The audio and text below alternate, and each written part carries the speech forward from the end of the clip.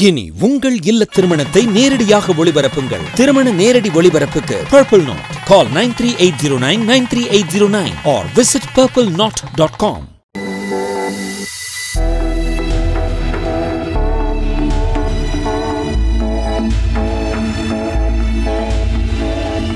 Jeevagan அப்படின்றவங்க என்ன கேட்டிருக்காங்கன்னா திடீர் நடிகரானது நினைச்சு இயக்குனர் பாக்யராஜ் வருத்தப்பட்டது உண்டா? இல்லை இல்லை அப்படி இல்லை. ஆக்சிடெண்ட்டாக நடிகர் ஆனதுங்கிறது நான் வந்து ஒன்லி டைரக்ஷன் தான் பண்ணணும்னு தான் ஆசைப்பட்டேன். அப்புறம் திடீர்னு ஒருத்தர் நடிக்கிற நேரத்தில் சூரல் நட்சத்திரங்களில் ஒரு வாரம் பத்து நாள் இருக்கும்போது அவன் திடீர்னு காணாமல் போயிட்டான். ஃபிக்ஸ் பண்ணியிருந்த ஆள். அதனால் மேக்கப் போட்டு நானே நடிக்க வேண்டிய ஒரு சூழல் வந்தது. அப்புறம் சரின்னு சொல்லிட்டு நான் நடித்ததுனால எனக்கு ஒரு இமேஜின்னு ஒன்று வந்துடும் இல்லையா? ஒரு காமெடியோடு செய்யக்கூடியது எதாக இருந்தாலும் ஒரு லைட் லைனில் செய்வேன் அப்படின்ட்டு. ஸோ அதனால் அப்படி படங்கள் பண்ணும்போது ஒரு பார்டருக்குள்ளே நான் வந்து வந்தேன். ஸோ ஒரு நடிகன்கிற பாக்யராஜுக்கு நல்ல மரியாதை கிடைச்சிது பேர் கிடைச்சிது எல்லாமே ஓகே ஜனங்கிட்ட ரொம்ப க்ளோஸாக ரீச் ஆகிற அளவுக்கு நல்லா வந்துட்டேன். ஆனால் ரைட்டருங்கிற பாக்யராஜ் முதல்ல சொன்னாங்கள்ல இது அது அந்த ரைட்டர் பாக்யராஜ் கொஞ்சம் மிஸ் ஆகிறாரு. இல்லைன்னா ரைட்டர் பாக்யராஜ் ஒரு கைதின் டைரி மாதிரி இந்த மாதிரி படங்கள் நிறம் மாறாத போக்கள் இந்த மாதிரி டிஃப்ரெண்ட்டான கதைகள்லாம் நிறையா பண்ணுறதுக்கான வாய்ப்புகள் இருந்திருக்கும். அது கொஞ்சம் மிஸ் ஆனது எனக்கு கொஞ்சம் ஃபீலிங் தான். பட் அதுக்காக வந்து ஏன் நடிகராக வந்தோம் அப்படிங்கிறதுக்கு நான் ஃபீல் பண்ணல. ஏன்னா என்னுடைய கதாபாத்திரங்கள் நான் கிரியேட் பண்ணதெல்லாம் வந்து அது எனக்கு தான் ரொம்ப ஹண்ட்ரட் பர்சன்ட் டெய்லர் மேட் ரோல்னு சொல்லுவாங்க இல்லையா? எனக்கு அவ்வளோ கரெக்டாக இருந்தது. அதனால் சந்தோஷம். இனிமேல் கொண்டு வரும்போது மற்றவங்களுக்கு தகுந்த மாதிரி கதைகளும் கூட நான் ஒரு ரைட்டராக என்னை வந்து இன்னும் நிலைநிறுத்திக்கிறதுக்கு என்ன பண்ணணுமோ அதை நான் முயற்சி பண்ணேன். இப்ப இருக்கக்கூடிய நடிகர்கள்ல ரொம்ப நல்லா நடிக்கக்கூடிய ஒரு ஹீரோ ஹீரோயின் தான் நீங்க யார் யார் பேரை சொல்லுவீங்கன்னு குணா கேட்டிருக்காங்க. ஏங்க நடிகர்னு பேர் வந்தாலே நல்லா நடிச்சா தாங்க நடிகர்னு பேர் வாங்க முடியும். நடிகர்னு பேர் எப்படி வாங்காமல் எப்படி அதனால் இப்போ இருக்கவங்கெல்லாம் வந்து ஒவ்வொருத்தரும் அவங்கவுங்க பேட்டர்னுக்கு ஒவ்வொருத்தரும் ஒவ்வொரு மாதிரி இப்போ நீங்கள் விஜய் சேதுபதி பற்றி கேட்டீங்க அவர் டைப் ஒன்று தனுஷ் இப்போ அவார்டு வாங்கியிருக்காரு அவருடைய எவ்வளோ டிஃப்ரெண்ட்டான ரோல் பண்ணி அவர் வாங்கியிருக்காரு கார்த்திக் வந்து கைதி அதில் வந்து கார்த்திக் நடித்தது சிவகார்த்திகேயன் அவன் லேடிஸுக்கு வந்து அவருக்கு வந்து லேடிஸுக்கு தகுந்த மாதிரி அவருக்கு அந்த இமேஜுக்கு தகுந்த மாதிரி இப்படி நிறைய ஒவ்வொருத்தரும் நிறைய நடிகர்கள் நிறைய பேர் வந்துட்டுருக்காங்க அதே மாதிரி ஹீரோயின்ஸும் நிறைய பேர் நல்ல பர்ஃபார்மன்ஸ் பண்ணுறவங்க வர்றாங்க. அதில் நம்பர் ஒன்றா நயன்தாரா வந்து பேசப்படுறாங்க அப்படின்னு சொன்னோம்னா அவங்க அந்த அளவு பர்ஃபார்மன்ஸ் வந்து அவங்க எடுத்துக்கிற ரோல்ல எல்லாம் அந்த அளவுக்கு பர்ஃபார்மன்ஸ் இருக்குது.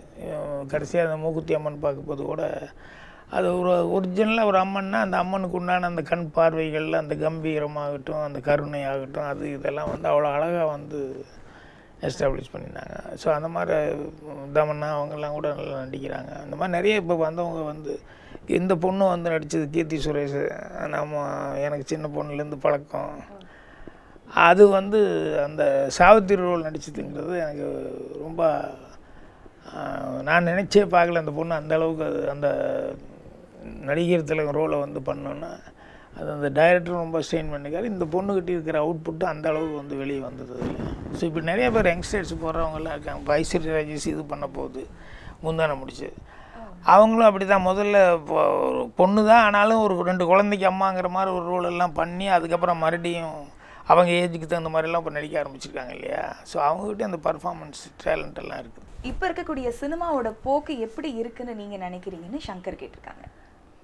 போக்கு கொஞ்சம் ஒரு ஆங்கிளில் பார்த்தா நல்லா இருக்குன்னு சொல்லலாம். ஒரு சில ஆங்கிளில் பார்த்தா ஐயையோ அப்படின்னு சொல்லிட்டு முகம் சுளிக்கிற மாதிரி இருக்குது என்னென்னா நல்லா இருக்குதுன்னு சொல்கிறது இப்போ வந்து இப்போ வெற்றிமாறன் மாதிரி ஆளுங்க படம் எடுக்கிறதுங்கிறது வந்து அது வந்து எனக்கு ஒரு நல்ல ஒரு இது. அதே மாதிரி தனுஷ் நடிகராக இருந்தால் கூட டைரக்ஷன் பண்ணார் பவர் பாண்டி அதை மாதிரி அப்புறம் கார்த்திக் சுப்புராஜ் மாதிரி ஆளுங்க வந்திருக்காங்க. இப்படி நிறைய பேர் இப்போ வந்தவங்க. அப்புறம் லோகேஷ் கனகராஜ் வந்திருக்காரு. ஸோ இவங்கெல்லாம் வந்து ஒரு நம்பிக்கை கொடுக்குற அளவுக்கு இருக்காங்க. அதே நேரத்தில் சில நேரங்களில் சில டைட்டில்களே ரொம்ப கஷ்டமாக இருக்குது என்னடா சினிமா இப்படி ஆகிப்போச்சு அப்படின்னு சொல்லிட்டு. அதில் ரொம்ப கஷ்டம் என்னன்னா அந்த டைட்டில் இப்படி வர்றதை விட உள்ளிருந்து அதை பார்த்துட்டு வரும்போது பேட்டி எடுக்கக்காக வெயிட் பண்ணிட்டுருப்பாங்களே பத்திரிக்காருங்க பொண்ணுங்க முதலாளாக ஓடி வர்றாங்க. ஸோ பொண்ணுங்க சங்கோச்சப்படணும் என்னடா இப்படி ஒரு டைட்டில் வச்ச படத்துக்கு நம்ம உள்ளே போயிட்டு வெளியே வர்றோமே அப்படின்னு சொல்லிட்டு அவங்களுக்கு இதில் என்ன இருக்குது வாட் இஸ் இட் அப்படின்னு சொல்லிட்டு உரிமை நீ ஓகே சுதந்திரம்ங்கிறது ஓகே பட் சுதந்திரம் நீங்கள் எந்த லெவலில் இருந்தால் எங்களுக்கு ஒரு ரெஸ்பெக்ட்னு ஒன்று இருக்குது இல்லையா? ஸோ அதை தாண்டி நீங்கள் அப்படி வந்து நடக்கும்போது என்னடா அவங்க வீட்டில் யாராவது பார்த்துட்டு இருந்தாங்கன்னா இது டிவியில் வர்றது இப்படி வந்து பேசுகிறதெல்லாம் என்ன நினைப்பாங்க இது அப்படின்னு சொல்லிட்டு உண்மையிலேயே கொஞ்சம் மனசு கஷ்டம். ஸோ அந்த மாதிரி படம் எடுக்கிறது வேணுமா? அப்படிங்கிறது தான். வேறு ஒன்றும் இல்லை. அதாவது மாடர்னாக பண்ணுறது அப்படிங்கிறது வேறு. அதே நேரத்தில் வந்து ஒரு டிக்லிங்கு போய் ரொம்ப விரசமாக டைட்டில் வைக்கிறது ரொம்ப விரசமாக படத்துலேயே வந்து கொச்சு கொச்சையாக வார்த்தைகளை யூஸ் பண்ணுறது அப்படிங்கிறதெல்லாம் வந்து கொஞ்சம் முகம் சொல்லிக்கிறதுக்கானது அது நம்ம கல்ச்சருக்கு உண்டானது அல்ல. இது சொல்கிறதுனால இவர் இன்னும் பழையாளியா அப்படின்னு சொல்லி சொல்லலாம். பழையாளாக இருந்தால் கூட ஓல்ட் இஸ் கோல்டுன்னு சொல்லுவோம். நம்ம கல்ச்சருங்கிறது வந்து என்றைக்கு அதுக்கு ஒரு மரியாதைங்கிறது ஒன்று இருந்துருக்கு இல்லையா? ஸோ இப்போ எத்தனை படங்கள் வந்து இன்னும் அந்த கல்ச்சரில் வந்த படங்கள் எல்லாம் வந்து அதே மாதிரி வர்றது ஓடுது இப்போ பாண்டியராஜன் கூட எடுத்தது வந்து ஃபேமிலி ஓரியன்ட் தான். எல்லோரும் மாடர்ன் பண்ணிட்டு இருக்கிற நேரத்தில் பாண்டியராஜ் வந்து எடுத்த படம் வந்து அந்த கார்த்திக் நடித்த படம் கடைக்குட்டி சிங்க. அது வந்து ஃபேமிலி ஓரியன்ட் ஓடலையா அதனால் எல்லாமே எல்லா டைப்லேயும் படம் பண்ணுறாங்க அதனால் அதுக்கு ஒன்றும் தட்டுப்பாடு வரல. அதனால் சினிமாவுக்கு நம்பிக்கை நட்சத்திரமாக நிறைய பேர் வர்றதுங்கிறது என்னென்னா இந்த சின்னது அதனால் நம்ம அதெல்லாம் விட்டுருவோம். சரியில்லாத ஏன் போய் பேசிக்கிட்டு? சரியில்லாதங்கிறது மனசுக்கு கஷ்டமாக இருக்குது இருந்தாலும் நல்லதை மட்டுமே இப்படி பார்ப்போமே அதை மட்டுமே எடுத்துக்குவோமே. அந்த காலத்துல உங்க கூட சேர்ந்து நடிச்ச நடிகைகள்ல உங்களுக்கு ரொம்ப ஃபேவரட்டான நடிகை யாருன்னு குணா கேட்டிருக்கேன். இது என்ன வம்பான கேள்வியாக இருக்குது. எல்லாருமே ஃபேவரட்டான ஆளுங்க தான். ஏன்னா ஒவ்வொருத்தரும் ஒரு மாதிரி இருந்திருக்கும். ஆனால் அதில் வந்து என்னென்னா ஒரு சில பேர் நடித்தது வந்து அது ரொம்ப இதாக ஒரு மௌன கீதங்கள் சரிதான் நடித்தது வந்து எல்லாருமே வந்து அவர் ஒரு ஹஸ்பண்ட் ஒய்ஃபாகவே வாழ்ந்தாங்கன்னு விமர்சனம் வந்தது. அந்த அளவுக்கு இருந்தது அந்த படத்தில் அவங்க ரெண்டு பேர்த்தினுடைய பாத்திர படைப்பு அப்படின்னு. ஸோ அந்த மாதிரி எனக்கு ஒவ்வொருத்தரும் தோல் நின்று போச்சு. சுலோச்சனா எடுத்துக்கிட்டால் கூட அது ஒரு வில்லேஜ் பொண்ணுக்கு சின்ன பொண்ணு அப்படிங்கிற மாதிரி அதுக்கு அது கரெக்டாக இருந்தது. இப்படி அப்புறம் முதான முடிச்சில் வந்து இது அப்புறம் ராதிகா என் கூட எல்லா படத்துலேயுமே வந்து அது ஒரு கலகலப்பான ஒரு கேரக்டர் அது வந்து என்னென்ன இந்த சொல்லுவோம் இல்லையா? அரசு அரசவை இதுன்னு ச அப்படின்னு சொல்லுவாங்க இல்லையா? அந்த மாதிரி என்னை பொறுத்த வரைக்கும் ராதிகாங்கிறது வந்து என் படத்தில் நிறைய படத்தில் நடித்தவங்க அதே நேரத்தில் ரொம்ப என்ன மாற மேனாலும் அவங்ககிட்ட பர்ஃபார்மன்ஸ் இப்போ சமீபத்தில் அவங்க படம் ஒன்று பார்த்தேன். இப்போ மருத அப்படின்னு சொல்லிட்டு ஒரு படம். மதுரை வந்து மருத அப்படின்னு சொல்லி அதோட அவ்- அவ்வளவு ஒரு நேர்த்தியான பர்ஃபார்மன்ஸ் அப்படிங்கிறது அந்த மதர் கேரக்டர் செஞ்சது அவ்வளோ நல்லா பண்ணியிருந்தாங்க இந்த மாதிரி நிறைய பேர் இருக்காங்க. எங்கள் கூட நடித்தவங்கள எங்கள் சின்னாச்சால ராதா அவங்க கூட நல்லா தான் இருந்தது. வசந்தி அந்த ஏழு நாட்கள். உங்க மருமகள் கீகி பத்தி சொல்லுங்கன்னு ருக்ஷாந்த் கேட்டிருக்காங்க. மருமகள் வந்து எனக்கு அவங்க கேம்பெயினிங் பண்ணும்போது எனக்கு ரொம்ப ஆச்சரியமாக அப்படியே பார்த்துக்கிட்டு இருப்பேன். என்னென்னா நல்ல மெமரி பவர் வேணும். அப்புறம் ரொம்ப டாக்கட்டிவாக இருக்கணும். அப்புறம் பேசும்போது தடுமாற்றம் இல்லாமல் இருக்கணும். அது எனக்கு கீக்கி மருமகளாக வர்றதுக்கு முன்னாலேயே நான் பார்த்துருக்குறேன். அப்போ கவனித்ததை விட இவர் தான் நம்ம மருமக அப்படின்னு சொல்லி வரும்போது இன்னும் கொஞ்சம் கரெக்டு கான்சன்ட்ரேஷனாக பார்ப்போம் இல்லையா?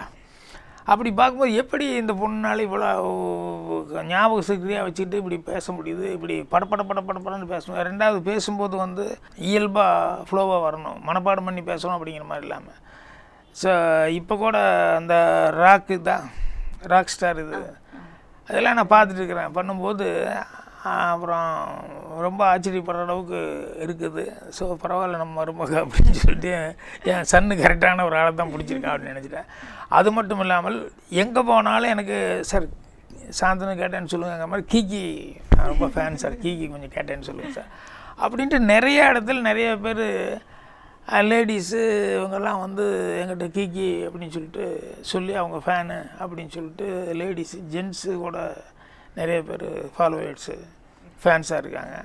ஸோ ஒரு காம்பீரிங்கில் இவ்வளோ தூரம் ஒரு நேம் சம்பாதிச்சு வச்சுக்கிறதுங்கிறது ரொம்ப சந்தோஷப்படக்கூடிய பெருமையான ஒரு சமாச்சாரம் தான் உங்க குருநாதரான பாரதி ராஜா டைரக்ட் பண்ண படங்கள்ல உங்களுக்கு ரொம்ப பிடிச்ச படம் எதுன்னு ரவீந்திரன் கேட்டிருக்காங்க. நான் ஒர்க் பண்ண படம் பதினாறு வயதில் அதுதான் எனக்கு ரொம்ப பிடிச்சேன்னா ஃபஸ்ட்டு சி நம்ம அவர்கிட்ட வந்து தான் அந்த கதை என்னன்னு தெரிஞ்சுது. அப்புறம் மீதி எல்லா கதையும் நான் கூடவே இருந்துட்டு இருந்தேன். ஸோ அது வந்து எனக்கு ரொம்ப நேட்டிவிட்டியோட அந்த படம் வந்து அந்த கதையை படித்தோன்னே இது ஒரு டிஃப்ரெண்ட்டாக இருக்குது. இது ஒரு ட்ரெண்ட் செட்டர் மாதிரி இந்த படம் வரப்போகுது. இவருக்கு வந்து மிகப்பெரிய ஒரு மரியாதை வரப்போகுது. அப்படிங்கிறதெல்லாம் வந்து அந்த கதையில் ஒரு இன்வால்வ்மெண்ட் ஆக ஆக ஆக நான் தெரிஞ்சுக்கிட்டேன். அதனால் நானும் அவர் எந்த அளவுக்கு ஹோப்பாக இருந்தாரோ அதே அளவுக்கு அந்த படத்து மேலே வந்து நானும் ஹோப்பாக இருந்தேன். அதுக்கப்புறம் நிறையா படம் பண்ணாங்க. என்னென்னா நானே கூட இருந்ததுனால அவரை மற்றவங்க ரசிக்கிற அளவுக்கு நான் வந்து நம்ம டைரக்டர் தானே இது பண்ணுவார் அப்படிங்கிற மாதிரி அது டேக் இட் இஸ் கிராண்டட் அப்படிங்கிற மாதிரி ஆகிப்போச்சு அதனால் மற்ற படங்கள்லாம் பார்த்தேன். முதல் மரியாதை அந்த மாதிரி படங்கள்லாம் நல்லா ஒரு பண்ணதில் வித்தியாசமான படங்களாக இருந்தது. இருந்தாலும் எனக்கு அந்த ஃபஸ்ட்டு படத்தில் வந்து அவ- அவருடைய அந்த ஃபஸ்ட்டு அந்த சபானி கேரக்டர் க்ரியேட் பண்ணது அந்த மயில் க்ரியேட் பண்ணி அந்த நேட்டிவிட்டி எடுத்துருந்தது அப்புறம் அந்த மண் வாசனையோடு அவர் பண்ண படங்கள் எல்லாமே. அதனால் இது அதுன்னு சொல்லி சொல்ல முடியாது. நிறைய படங்கள் அவர் படங்கள் வந்து ஒரு அவர்கிட்ட அசிஸ்டண்ட்டாக வேலை பார்த்ததுனால அதை வந்து ரொம்ப பெருமையான ஒரு சமாச்சாரமாக நினைக்கிறேன். சாந்தனு நடிக்கிற படங்களுக்கு நீங்களும் கதை கேட்பீங்களா இல்லை அவங்க தான் டிசைட் பண்ணுவாங்களான்னு குணா கேட்டிருக்காங்க. அதில் தான் சிலதெல்லாம் தப்பு வந்துடுச்சு நம்மளும் கதை கேட்க போய் அது இது கொஞ்சம் இது மாற்ற நல்லா இருக்கு அதை மாற்ற நல்லா இருக்குன்னு இதில் தப்பாகி போகுது.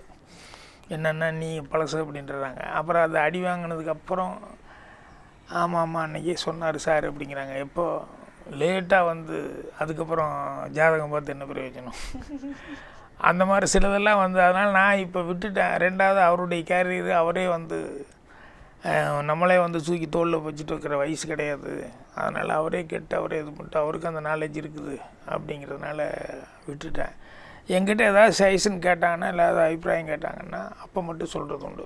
இது ஒரு சின்ன ஒரு கான்ட்ரவர்சியாக இருக்குது இப்போ கூட ஒரு ஆந்தாலஜி ஒரு ஒன்று பண்ணுறதுக்கு வந்து கேட்டிருக்காங்க. அந்த கொஞ்சம் கான்ட்ரவர்சி இருக்க மாதிரி இருக்குது நீங்கள் ஒரு தடவை சொல்லுங்களேன் கேட்டு அப்படின்னா. சரி சொல்லுப்பா அப்படின்னா அப்புறம் கேட்டு என்னுடைய அபிப்பிராயங்கள் சொன்னேன். இந்த மாதிரி அவர் ஏதாவது கேட்டாருன்னா சஜஷன் நம்மளா வலுக்கட்டாயமாக உள்ளே போய்க்கிறதில்ல அப்புறம் எங்கிட்ட யாராவது வந்து சொல்லணும்னு நினச்சா கூட இப்போ அவர்கிட்ட சொல்லணும்னா அவர்கிட்ட மட்டும் சொல்லு. இல்லை சார் உங்கள்கிட்டயும் ஒரு தடவை சொல்லிட்டா நல்லா இருக்கும்னு நினைக்கிறோம். அப்படின்னா என்கிட்ட சொல்லு. அப்படின்னு சில பேர் எங்கிட்ட அபிப்பிராயம் கேட்குறதுக்கும் சார்கிட்ட சொன்னோம்னா ஏதாவது ஒரு நல்லதாக ஏதாவது சைஸ்ன்னு சொல்லுவார். அப்படின்ட்டு என்கிட்ட சொல்லிவிட்டு கூட அவர்கிட்ட சொல்லலாம் அப்படின்னு நினைப்பாங்க. சில பேர் அப்படி சொல்லணும்னு தைரியமாக வந்து சொல்லுவாங்க. சில பேர் வந்து ஐயோ அவர் ஆயிரம் கேள்வி கேட்பார் அவர்கிட்ட போய் எதுக்கு கதையை சொல்லிவிட்டு வம்பில் போய் நம்ம விலைக்கு வாங்கிக்க வேண்டாம். அப்படின்னு சொல்லிட்டு சில பேர் அவாய்டு பண்ண நினைப்பாங்க. ஸோ அதனால் என்னை லைக் பண்ணி வந்து கேட்டாங்க அப்படின்னு சொன்னோம்னா மனப்பூர்வமாக என்னுடைய ஒப்பீனியன் என்னவோ அதை நான் சொல்லுவேன். இசைஞானி இளையராஜா கூட ஒர்க் பண்ண எக்ஸ்பீரியன்ஸ் பத்தி சொல்லுங்க. உங்களோட ரெண்டு படங்களுக்கு நீங்க மியூசிக் டைரக்டரா ஒர்க் பண்ணீங்க. அது எப்படி தோணுச்சு? எப்படி ஸ்டார்ட் பண்ணீங்கன்னு விக்னேஷ் கேட்டிருக்காங்க.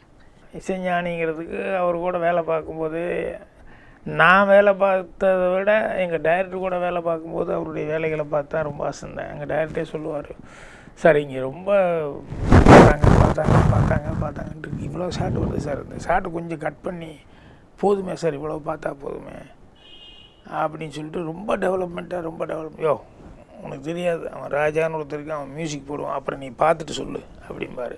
ஸோ டபுள் பாசிட்டிவ் பார்க்கும்போது என்னடா இத்தனை ஷார்ட்டாக ஒரு தடவை பார்த்தாங்க ஒரு தடவை பார்த்தாங்க சிரிச்சாங்க சிரிச்சாங்கன்னா போதுமே அப்படின்னு நினைக்க என்ன இவ்வளோ ஷார்ட் அப்படின்னு.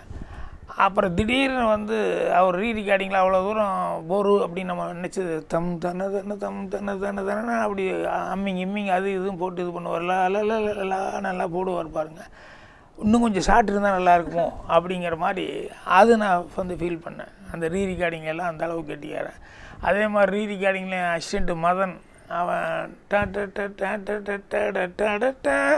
சொல்லிட்டு ஒரு நாடசுரம் அந்த இது செனாய் பிட்டெல்லாம் வச்சு ஒரு தீ மியூசிக் மாதிரி தூரல் நின்று வச்சு போட்டிருப்பாரு. அதான் வந்து எடுத்து ஃபோன் காலர் டியூனை வந்து யூஸ் பண்ணிகிட்ருக்கேன் ஸோ அந்த மாதிரி நிறைய அவர் வந்து அவரோட கல்யாணம்னு ஒரு- ஆள் இருந்தார்.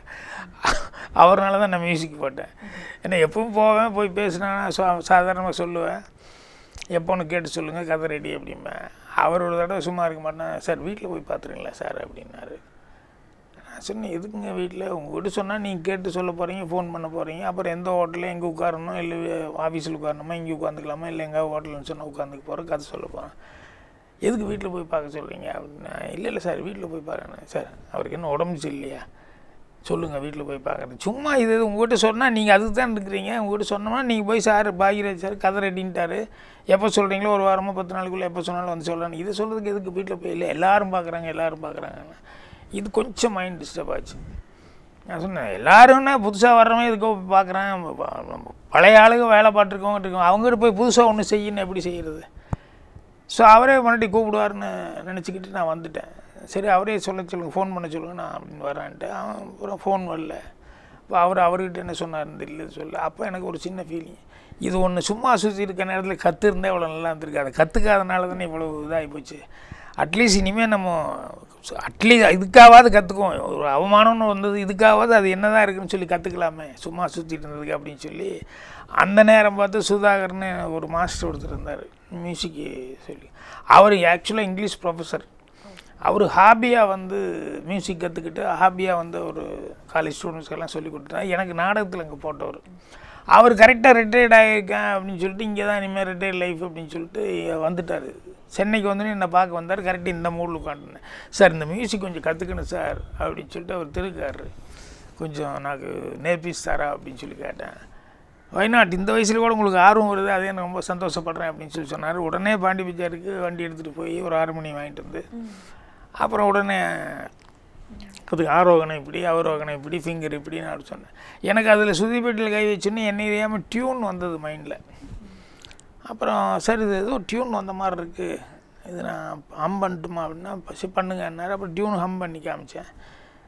ஸ்டார்டிங்கு லேண்டிங்னு விட்டு எல்லாமே கரெக்டாக இருந்தது. சரி இதுக்கு சரணம் பிடிங்க அப்படின்னாரு. அப்புறம் சரணம் அதே மாதிரி ஹம் பண்ணி பிடிச்சேன். இது நல்லா இருக்கே சார் அப்படின்னாரு. அப்புறம் வேறு ஏதாவது டியூன் சொல்லுங்கன்னா ஒரு நாலஞ்சு டியூன் அந்த மாதிரி அவர் சுற்றி பிடிக்கும்போது அந்தந்த ஸ்கேலுக்கு தகுந்த மாதிரி அப்புறம் தான் அவர் சொன்னார் சார் நீங்கள் இனிமேல் மியூசிக் கற்றுக்கிட்டு நோட்ஸ் எழுதி சுரம் எழுதி அதெல்லாம் பண்ணுறதுக்கு நீங்கள் இந்த மாதிரி ஹம் பண்ணி டியூன் பிடிங்க. நாங்கள் வந்து அதை நோட்ஸ் எழுதிக்கிறோம். அப்புறம் அசிஸ்டண்ட்ஸ் இருக்காங்க நிறைய பேர். ஸோ அது மியூசிக் அரேஞ்ச்மெண்ட்ஸ் அதெல்லாம் பண்ணுறதுக்கெல்லாம் இருப்பாங்க அவ்வளோ வச்சு இது பண்ணிக்கலாம். அதுக்கு இருந்தாலும் விஸ்வநாதன் கிட்டலாம் ஒரு சந்தேகம் கேட்டுக்கிட்டு அவர்கிட்ட வந்து இப்போ ஒரு ரெண்டு டியூன் எல்லாம் பாடி ஹம் பண்ணி காமிச்சு சங்கர கணேஷ்கிட்ட பாடி காமிச்சு அப்புறம் அவங்களும் என்கரேஜ் பண்ணி இது நல்லா இருக்குன்னு சொல்லி சொல்லி இது யூஸ் பண்ணிக்கலாம் அப்படின்னு சொல்லி எங்கள் சின்ராஜில் எல்லாம் அதை யூஸ் பண்ணாங்க. அதுக்கப்புறம் தான் சரி நான் இது நம்ம ஆளில் வந்து நம்ம பேர்லேயே நம்ம பண்ணுவோம் அப்படின்னு சொல்லிட்டு பண்ணேன். நான் சிகப்பு மனிதன் படத்தில் சூப்பர் ஸ்டார் கூட நடித்த அனுபவம் பற்றி சொல்லுங்கன்னு ரவீந்திரன் கேட்டிருக்காங்க இல்லை அதுதான் அவர் கூட நடித்த அனுபவங்கிறத விட அவருக்கு வந்து அவர் நடிக்கும்போது அசிஸ்டன்ட் டேரக்டர் அந்த மாதிரிலாம் அந்த அனுபவம் தான் எனக்கு ரொம்ப இன்னும் கண்ணில் நிற்கிற அனுபவம். ஆனால் அவ்வளோ ஸ்ட்ரெயின் பண்ணிக்குவார் அவ்வளோ கஷ்டப்படுவார்.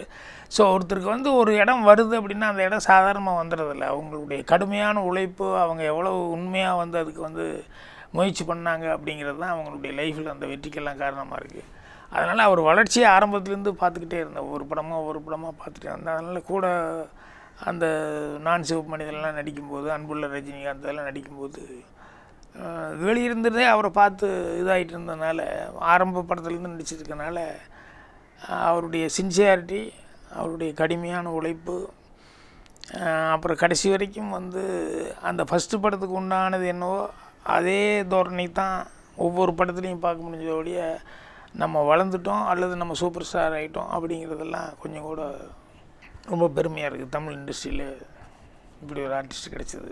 கமலஹாசனோட அரசியல் வருகை பத்தி உங்களோட பார்வை என்னன்னு அபிநயா கேட்டிருக்காங்க.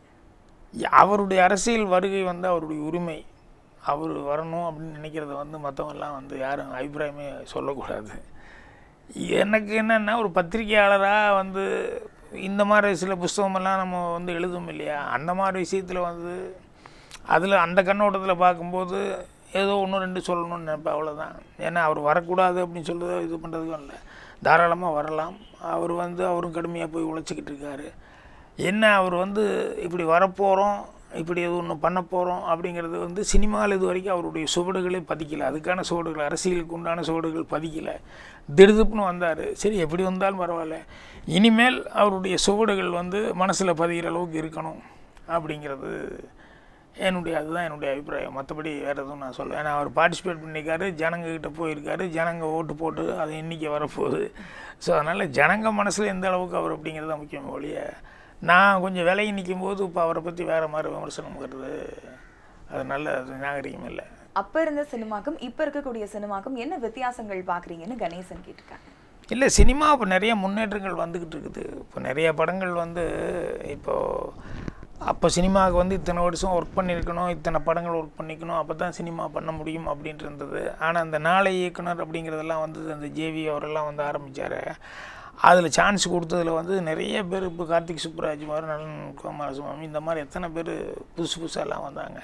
ஸோ அவங்கெல்லாம் மாடர்னாக வித்தியாசமாக வந்து ஒரு வெளியே அதிகமாக படங்கள் பண்ணல. ஆனால் வந்து அவங்க ஒரு ஜென்ரல் நாலேஜை வச்சுக்கிட்டே அவங்க வந்து ஷார்ட் ஃபிலிம் பண்ணி அதுலேயே நல்லா வந்தாங்க. அதே மாதிரி வந்து இப்போ புதுசாக வந்த கார்த்திக் சுப்ராஜ் மாநகரத்துக்கு அப்புறம் ரெண்டாவது கைதி படம் பண்ணும்போது கார்த்திக் சுப்ராஜ் கனகராஜ் லோகேஷ். கனகராஜ். அவர் வந்து ஒரு ஹீரோயின் இல்லாமல் கூட படம் பண்ண முடியும் ஒரு சாங் இல்லாமல் படம் பண்ண முடியும் அப்படின்னு சொல்லிட்டு ஒரு இங்கிலீஷ் பேட்டர்னில் வந்து ஏன் நம்ம பண்ண முடியாது? படத்தில் ஸ்கிரிப்டு அப்படி பலமாக இருந்தது அப்படின்னு சொன்னால் பாட்டு இல்லாமல் கூட பண்ணிடலாம் அப்படின்ட்டு அவர் தைரியமாக அவர் பண்ணார். இப்போ நான் டார்லிங் டார்லிங் அப்போ எனக்கு ரெண்டு பாட்டுக்கு தான் இடம் இருந்தது. முதல் பாட்டு ஒரு கற்பனையாக ஒரு பாட்டு பாடிக்கிட்டேன். முதல் பாட்டு வந்து ரெண்டு பேருமே டூயிட் பாடுறதுக்கான வாய்ப்புகள் இல்லை. ஏன்னா நான் தான் ஒன் சைடு லெவலில் இருந்த ஒழிய தேவையில்லாமல் இமேஜினேஷன் இதுக்கு போட்டுக்கிட்டு இருக்கணும்ன்ட்டு ஒரு ஓனெஞ்ச பாட்டுக்கு மட்டும் ஒரு சுச்சுவேஷன் இருந்தது போட்டுக்கிட்டேன். அதுக்கப்புறம் லவ் ஓகே ஆகுது அப்படின்னு சொல்லும்போது அழகிய விழிகளில் அறுபது கலைகள்னு அந்த பாட்டு போட்டேன். வேறு எனக்கு தேவைப்படல அதனால் இது பண்ணல. அதனால் சினிமாவில் வந்து இதெல்லாம் தேவைப்படலை அப்படின்னா அதை விட்டுட்டு ஓட போகலாம். ஜனங்க படம் பார்க்க ரெடியாக இருப்பாங்க அப்படின்னு சொல்லி சக்ஸஸ்ஃபுல்லாக பண்ணி காமிச்சார் இல்லையா? ஸோ அதனால் வந்து இப்படி ட்ரெண்ட் செட்டர் மாதிரி இன்றைக்கி நிறையா டைரக்டர்ஸ் எல்லாம் வந்திருக்காங்க. அது தமிழுக்கு வந்து ஒரு நல்ல இன்னும் ஸ்ட்ரென்த்து ஏன்னா இங்கே வர்றது மட்டும் இல்லாமல் இந்த இது வந்து பல லாங்குவேஜுகளுக்கும் போகுது இல்லையா? இங்கே எடுக்கிற படங்கள். ஸோ அதனால் நம்பிக்கை நட்சத்திரமாக சினிமா வந்து பலப்படுத்துகிற மாதிரி தமிழ் சினிமாவுக்கு பெருமை கொடுக்குற மாதிரி நிறைய பேர் வந்திருக்காங்க. அது ரொம்ப பெருமைப்படுற ஒரு சமாச்சாரம். டி ராஜேந்திருக்கும் உங்களுக்கும் இருக்கக்கூடிய நட்பு பற்றி சொல்லுங்கன்னு கணேசன் கேட்டிருக்காங்க. நான் கொஞ்சம் முன்னால் வந்தேன். அவ்வளோதான் ஏன்னா அவர் வந்து புதிய வார்ப்புகளெல்லாம் நான் வந்து எழுதிட்டு இருக்கும்போது அவங்க வந்து கீழே வந்து ஒருதல் ராகத்தில் வந்து அங்கே அங்கே தான் இருந்து ஒர்க் பண்ணாங்க. அப்புறம் அவரும் டைரக்ஷன் பண்ணார் ஆனால் பேட்டர்னே வேறீங்க. எல்லாரும் சும்மா அதாவது இந்த இப்போ எம்ஜிஆர் சிவாஜி இப்படியே சொல்லி பழகினவங்க இல்லையா? அந்த மாதிரி ரஜினி கமல் அப்படிங்கிற மாதிரி இப்போ ரா டைரக்டர் அப்படின்னு சொன்னால் பாக்யராஜ் டி ராஜேந்தர் அப்படின்னு சொல்லிட்டு அதில் பொலிட்டிக்கல் வேறு பத்தாதுக்கு வேறு அவர் டிஎம்கே சைடு இருந்தார் நான் எம்ஜிஆர் ரசிகனாக இருந்ததுனால. அதுவும் சேர்ந்து எங்களை வந்து அப்படி ஆயிடுச்சு ஒழிய மற்றபடி வேறு ஒன்றும் கிடையாது. மற்றபடி அவருடைய பேட்டர்ன் வேறு என்னுடைய பேட்டர்ன் வேறு. இப்போ தமிழ்னு எடுத்துக்கிட்டோம்னா அவர்கிட்ட அந்த தமிழில் இருக்கிற புலமை அப்படிங்கிறது இருக்க அது அவருக்கு பேசிக்காகவே அந்த புலமைங்கிறது இருக்குது எனக்கு தமிழில் புலமை இல்லை ஆனால் ஆளுமைங்கிறது இருக்குது அது சினிமா ஆளுமை தமிழில். அவர் புலமை அப்படின்னு சொன்னோம்னா டக்கு டக்கு டக்குன்னு எதுகை மோனே எதுகை மோனே அவருக்கு சரளமாக வந்துக்கிட்டு இருக்கு. அப்படி பேசுகிறவர் எனக்கு சினிமாவுக்கு உண்டான ஆளுமை அப்படிங்கிறது வந்து வந்துட்டுருக்கு. இப்போ அவரே பாட்டு எழுதுவார் அவரே பண்ணுவார். நானும் பாட்டு எழுதுறது உண்டு. ஆனால் என்னுடைய ஆளுமை அப்படின்னு சொல்லி சொன்னால் வசனங்களில் வந்து வரும். இப்போ ஒரு டியூன் கம்போஸ் பண்ணுறாங்க அப்படின்னு சொல்லி சொல்லும்போது எனக்கு என்னென்ன அது டியூனை மைண்டில் ஏற்றிக்கிறதுக்காக ஒரு ரெண்டு லைன் நம்மளே அதுக்கு ஒரு லைன் எழுதி பார்ப்போம். அந்த சுச்சுவேஷன் தகுந்த மாதிரின்னா அப்போ நான் தந்தனை தான் பாட்டு. ராகம் இல்லை என் துக்கம் எதுவும் கேட்க ஆளும் இல்லை. அப்படின்னு சொல்லிட்டு எழுதுவேன் அது வாலி சார் நல்லா இருக்குது இந்த சுச்சுவேஷன் கரெக்டாக இருக்குது அப்படின்னு சொல்லிட்டு கன்டினியூ பண்ணிக்கலாம் அப்படிம்பாரு. அதே மாதிரி வந்து ஏரிக்கரை பூங்காற்றேங்கிற பாட்டு வந்து ஸ்டார்டிங் வந்து நான் வந்து சொன்னேன். ஏரிக்கரை பூங்காற்று நீ போகிற வழி தென்கொலக்காட்டு அதே மாதிரி கிழக்கை பூண்டையில் போய் கூட சுதாகர் காவல் காத்துட்ருக்கவன் இருக்கிறவன் அவன் ஒரு அந்த இடத்துல ஒரு பாட்டு பாடிட்டு கோட்டையை விட்டான். அப்படின்னு நல்லா இருக்குன்னா காவல் காக்கிறவன் வந்து அதுக்கு தகுந்த மாதிரி அவன் பாடிக்கிட்டு இருக்கான் ஆனால் திருடிட்டு இருக்காங்க அப்படிங்கும்போது நீயும் நானும் ஒன்று என்ற நெ- நிலமை வேணுங்க அந்த நேரங்காலம் சேரும் வரைக்கும் காவல் வேணுங்க நம்ம காவல் வேணுங்க அப்படின்னு சொல்லிட்டு பட்டுக்கோட்டை ஏறுறாங்க. இப்படி ஏதாவது ஒன்று பாட்டுகள் வந்து அந்த அந்த லைன் இப்போ நான் கம்போஸ் பண்ணும்போது எனக்கு ஸ்டார்ட் பண்ணும்போது பச்சை மலை சாமி ஒன்று உச்சி மலை ஏறுதுன்னு எடுடா தம்பி மேளம்னு. தம்பி இது நல்லா இருக்குது சுச்சுவேஷன் நல்லா இருக்குன்ட்டு புலம்பு பண்ணி சார் இது நீங்களே பாடிட்டா இன்னும் நல்லாயிருக்கும் அப்படின்னு சொல்லி அவர் என்கரேஜ் பண்ணார். ஸோ இந்த மாதிரி வந்து சினிமாவுக்கு உண்டான ஆளுமை எங்கிட்ட இருக்குது ஆனால் தமிழுக்கு உண்டான ஆளுமையோட புலமையும் சேர்ந்து இருக்கிறது வந்து டி. ராஜேந்தர்கிட்ட ஸோ அதான் அவருடைய படம் பேட்டர்ன் ஒரு மாதிரி இருக்கும் என்னுடைய படம் பேட்டர்ன்கள் ஒரு மாதிரியாக இருக்கும். அதனால் அதுக்கு இதுக்கும் சம்மந்தம் இருக்காது. அப்புறம் அவர் நடிக்கிற விதமும் அவருடைய டைப் வேறு என்னோட டைப் வேறு. அதனால் எங்கே பார்த்தாலும் நல்லா பேசிக்குவோம் பிடிச்சிக்குவோம் அவ்வளோதான் அதை வந்து மற்றவங்க பாயிண்ட் ஆஃப் வியூவில் இந்த எலெக்ஷனுக்கு அங்கேயும் இங்கேயும் போனதுனால வந்து சில நேரங்களில் சொல்லுவாங்க. அது வந்து எலெக்ஷனுக்கு போனால் தெரியுமா உங்களுக்கு? சில நேரங்களில் சில பேர்த்த வந்து இப்படி பேசு அப்படி பேசுன்னு சொல்லுவாங்க. நானே எலெக்ஷனுக்கு போகும்போது தௌசண்ட் லைனில் போகும்போது கலைஞர் அவர்கள்னு பேசு கருணாநிதி சொல்லு கருணாநிதி சொல்லுன்னு கத்தனா எழுந்திரிச்சு ஏய் வாய மூடு என் வயசுக்கு நான் அவரை வந்து அப்படி தான் சொல்லணும் கலைஞர் தான் சொல்லணும். நான் பேரெல்லாம் சொல்லணும்னா எம்ஜிஆர் நாளைக்கு வந்தாருன்னு என்ன பிடிச்சி திட்டுவார்? உன் வயசு என்ன? நீ என்ன மரியாதை இல்லாமல் இப்படி பேசினேன்னு என்ன கேட்டால் நான் என்ன பதில் சொல்கிறது அவர் கண்டிப்பாக தலைவர் வந்து அப்படி கேட்பார் நான் அப்படிலாம் சொல்ல மாட்டேன் அப்படின்ட்டு அப்படி நான் சொல்ல மாட்டேன் அப்படின்னு சொல்லுவோம் அதே மாதிரி அவர் எங்கேயோ ஒரு இடத்துல மீட்டிங் போயிட்டு வந்தால் அவரை வந்து வேறு மாதிரி திட்டி இவனுக்கு பட்டப்பேர் வச்சுட்டு வேறு மாதிரி சொல்லுவாங்க. இவர் மீட்டிங் போனேன் என்ன போய் நான் இப்போ தான் நண்பர் வந்துட்டு போனான்னு கேள்விப்பட்டு இல்லை இல்லை அப்படின்னு சொல்லிட்டு சொல்லி அப்படி சொல்லு அப்படி சொல்லு அப்படிமா. யா உனக்கு வேறு வேலை இல்லைன்னு அப்படின்னு சொல்லிட்டு அநாகரிகமாக பேச நான் ரெடியாக இல்லை அப்படின்னு சொல்லுவேன் அந்த மாதிரி எனக்கும் அவருக்கும் நல்ல நட்பு அது இதெல்லாம் இருந்தது. அதனால் உஷாலாம் அவங்க ரயிலில் நடித்ததுனால அவங்க எல்லாத்தையுமே நல்ல பழக்கம் இருக்குது ஸோ மற்றவங்க பாயிண்ட் ஆஃப் வியூவில் தான் கொஞ்சம் அப்படி இப்படின்னு பார்க்குறது. அவ்வளோதான் வேறு ஒன்றும் இல்லை. ஒரு அப்பா கேரக்டர் அப்படின்னாலே அது உங்களுக்கு அல்வா சாப்பிடுற மாதிரி அமைஞ்சிருது. ஸோ ரியல் லைஃப்ல நீங்க சாந்தனை கூட எப்படி பழகுவீங்க? ரொம்ப நட்பா இருப்பீங்களா? இல்லை கண்டிப்பா இருப்பீங்களான்னு ஜீவா கேட்டிருக்காங்க. இப்போல்லாம் இந்த காலத்து பசங்க தலைக்கு மேலே வந்துட்டா நம்ம சொல்கிறது இங்கே கேட்குறாங்க அவங்க நம்ம கொஞ்சம் ஓல்டு அப்படிங்கிற மாதிரி அவங்க நினச்சிட்றாங்க. சரிப்பா நான் ஓல்டாகவே இருந்துடுறேன் அப்படின்னு சொல்லிட்டு அவனை அதான் கேட்டால் பதில் சொல்லுவான். அவ்வளோதானே ஒழிய நம்மளா போய் இதெல்லாம் வந்து தேவையில்லாமல் தலையை நீட்டி நம்மளா வந்து மூக்கு நீட்டி அவமானப்பட்டு கூடாது அப்படிங்கிறதுனால நான் விட்டுறது. மற்றபடி ஃப்ரெண்ட்ஷிப்பாக ஒரு ஃபாதருங்க முள்ள தானாடா விட்டாலும் சதையாடுன்னு சொல்லுவாங்க இல்லையா? அந்த மாதிரி அவர் இன்னும் அவருடைய அந்த டான்ஸ் அவன் பண்ணுற பர்ஃபார்மன்ஸு டான்ஸு அதுக்கு தகுந்த அவனுக்கு ஒரு நல்ல ஒரு ஹிட் இன்னும் பெருசாக வரலையே அப்படிங்கிறது வந்து அது ஒரு சின்ன ஆதங்கம் எனக்கு இருந்துருக்கு பட் இந்த டுவெண்ட்டி ஒன் அப்படி நல்லா வரும்னு நினைக்கிறேன். ஏன்னா இப்போ கூட அவனுக்கு வந்து சின்ன ரோலாக பண்ணால் கூட இதில் வந்து அவனுக்கு வந்து அந்த பாவ கதைகள் பண்ணாங்களே அதில் அந்த தங்கம்னு அவன் அவனும் ஜெயராம் பையனும் பண்ணியிருந்தாங்க இல்லையா? அதை ரொம்ப மரியாதையாக எல்லாரும் பாராட்டி இது பண்ணாங்க. ஸோ அதனால் அவனுக்கு அதுக்கு உண்டான தகுந்த ஒரு இந்த இந்த டுவெண்ட்டி ஃபஸ்ட்டில் வந்துடும் ஸோ டபுள் மீனிங் டைலாக்ஸை படங்கள்ல அறிமுகம் பண்ணி வச்சவரதே கே பாக்யராஜ் தான் அப்படின்ற ஒரு குற்றச்சாட்டு இருக்கு உங்க மேல. இதை பத்தி உங்களோட பதில் என்னன்னு ரவீந்திரன் கேட்டிருக்காங்க. முதல்ல என்ன ஒரே ரவிமயமாக வந்துட்டு இருக்கு எனக்கு வந்து சொல்கிறவங்க பூராமே ரவீந்தர் ரவி 50 ரவி. அப்படியா? இல்லை டபுள் மீனிங் எல்லாம் கிடையாதுங்க. என்னோடது ஒரே சிங்கிள் மீனிங் தான். டபுள் மீனிங்னு என்ன இருக்குது? அது நேரடியாக அதை சொல்கிறது தான் இது இது வந்து என்னென்னா இது ஒரு டிக்லிங்கான சமாச்சாரம். இது எல்லாரும் சாதாரணமாக பேசுகிறதான ஒழிய நான் பேசுகிறதுன்னு இல்லை. இப்போ நீங்கள் காலேஜ் ஸ்டூடெண்ட்டுக்கு பொண்ணுங்கள்லாம் பேசிக்கிறது இல்லையா? நீங்களும் தமாசா ஒரு கமெண்ட்டை விட்டு அடிச்சுட்டு நீங்கள் பேசிக்கிறது இல்லை பசங்க நாங்கள் பேசிக்கிறது இல்லையா அதே மாதிரி பொம்பளை கல்யாணம் ஆன பொம்பளை அவங்க பேசிக்கிறது இல்லையா ஆம்பளையை பேசிக்கிறது இல்லையா அந்தந்த ஏஜுக்கு தகுந்த மாதிரி அவங்கவுங்க ஜாலியாக அப்படி பேசிக்கிறதுங்கிறது உண்டு. இது நான் சினிமாவில் வைக்கும்போது சினிமானா உங்களுக்கு லைட்டு போட்டுக்கிட்டு சினிமா எடுக்கிற மாதிரி வந்து தேட்டரில் வந்து உட்காந்து வர்றதுனால எல்லாத்துக்கும் பளிச்சுன்னு தெரியுது. அதனால் அது டபுள் மீனிங்கே அது எழுதணும் அப்படின்னு சொல்லி சொல்லி வர்றதுங்கிறது இல்லை. அது சாதாரணமாக இருக்கிறது? இதுதான் சொன்னேன். ஒரு புராணங்கள் எடுத்துட்டா கூட அந்த காலத்தில் கூட அதெல்லாம் வந்து வரும். டபுள் மீனிங்னு அது எவனோ ஒருத்தர் எழுதியிருந்தேன். ரொம்ப நல்லா இருந்தது. நான் ரசித்து படித்தேன் ஏதோ மேருமலையே அதையும் ஒன்று தூங்கி கிருஷ்ண பரமாத்தா யாதவர்களெல்லாம் காப்பாற்றினப்போ எல்லாரும் பெருமையாக சொன்னாங்க. மேருமலையவே தூக்கினார் உங்கள் வீட்டுக்காரரு. அவர் நேருமலையே அப்படி தோளில் தாங்கிட்டு எங்களையெல்லாம் காப்பாற்றினார் ஏ சும்மா மேருமலையே தூக்கினார் தாங்க தாங்கிட்டார் தாங்கிட்டாருன்னு. அதை தூக்கி அதை தாங்கிக்கிற அந்த டெய்லி நான் நெஞ்சில் தாங்கிட்டு இருக்கேன். என்கிட்ட பெருசாக போய் என்கிட்ட டைலாக் அடிக்கிறேன் அப்படின்னா ஸோ இதெல்லாம் வந்து என்னென்னா ஒரு காமெடியாக நம்ம எடுத்துக்கணும் ஒழிய இதை வந்து அவங்க சொன்னதில் ஒன்றும் தப்புன்னு ஒன்றும் கிடையாது. ஆனால் அதே நேரத்தில் அவங்க சொல்லும்போது அது ஒரு ஃபன்னாக நம்ம எடுத்துக்கிறது. இந்த மாதிரி சினிமாவில் டிக்லிங்காக நான் வந்து வைக்கிறன ஒளி இதுக்குன்னு போய் தனியாக அதுக்கு ரூம் போட்டு யோசிச்சு அப்படிலாம் வரணும் அப்படின்னுலாம் வந்து அப்படி திங்க் பண்ணி பண்ணுறது இல்லை அந்த சுச்சுவேஷன்கள் சில நேரங்களில் அப்படி அமையும் போது அதுக்கு தகுந்த மாதிரி வந்துடும் முதான முடிச்சில் புருஷன் முன்னாடிக்குள்ளே ஹஸ்பண்ட் ஒய்ஃப் வேண்டாம் அப்படின்னு சொல்லி நான் வந்து அவளை ஒத்துக்க மாட்டேன்னு சொல்லும்போது அந்த முருங்கைக்காய் சீனுங்கிறத வந்து வச்சதுனால அது பெரிய இதாச்சு. அதே சுச்சுவேஷன் தான் நான் வந்து சோபனா ஒதுக்கி வச்சுட்டேன். ஒதுக்கி வச்சுட்டு சாப்பிடும்போது மாடு கத்துற சவுண்டு கேட்குது என்ன மாடு கத்திக்கிட்டே இருக்குது அவன் கவனிக்கலன்னா ஐயோ அது வா வேறு ஒன்று கத்துதுன்னா வேறு எது கத்துது? அப்படிங்கிற மாதிரி சொல்லி சொல்லும்போது அப்படி இப்படி கத்துனா அப்படி அப்படி கத்துனா அப்படி அப்படின்னு சொல்லிட்டு அந்த சுச்சுவேஷனுக்கு அது சொல்லும்போது நல்லா இருந்தது. ஸோ அந்த நாள் ஆளன தாமரை பாட்டுக்கிட்டெல்லாம் போடுறதுக்கு அந்த மாதிரி சுச்சுவேஷன் இருந்தது.